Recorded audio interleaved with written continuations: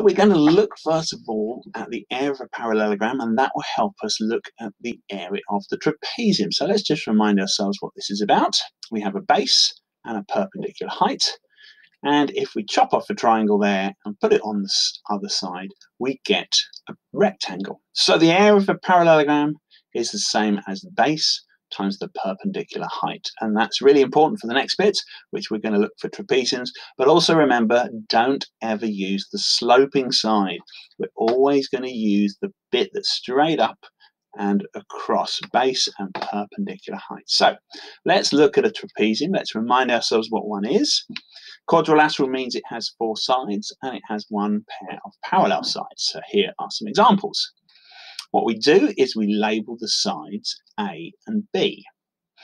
Now, it doesn't really matter which side is A and B, uh, as long as they're the parallel ones. We sometimes think of B as the base, so A at the top, B at the bottom, and that works quite nicely. We then label the perpendicular height, straight up and down through every shape. Perpendicular height, just like we talked about with the parallelogram. So, that's a reminder of how we label it. A, B perpendicular height. So let's have a look at this trapezium. There are the three letters we've used. What we're going to do is we're going to make a copy, rotate it, and stick it next to it. So the A jumps down to the bottom, and the B jumps up to the top. Now, if you look closely, you'll see that this is the same as a parallelogram. And we've just talked about areas of parallelograms. They are the base times the height. Now the base here is the whole thing, the B and the A, the whole base added together. So we take the base and the height, we use A and B to represent that large uh, long base. We add them together. Notice the brackets because we want to add them together first.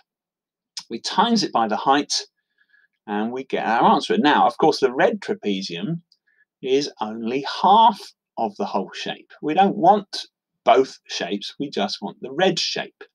And this comes to the next step. We just halve the answer we've got. So we've got the half of the A plus B and the height. So we can think of that as A add B, the base and the top, top and the bottom. We times it by the height between them and we divide by 2. We often see the formula looking like that with a half at the front but it's best to think of this as top and bottom, A and B, added together. Work out that answer, times by the height, and divide by 2. Let's try a couple of questions together. So if we look at this shape, the 3 and the 5 are the A and the B. We're going to flip this shape round, put the 5 and 3 the other way round, and the base now is 5 plus 3. So 5 plus 3 is, of course, 8. We're going to times it by the height of 6. So 8 sixes are 48. But we only want one shape, so we divide by 2.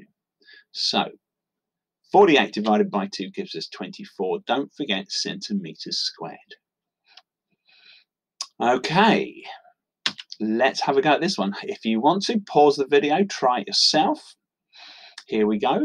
We're going to flip it around Put the 2 down the bottom, 6 up the top. That makes the base 2 plus 6. So that's 8. We're going to times by the height of 5. 8 fives are 40. But don't forget we want to halve it because there's only one of them. That's right.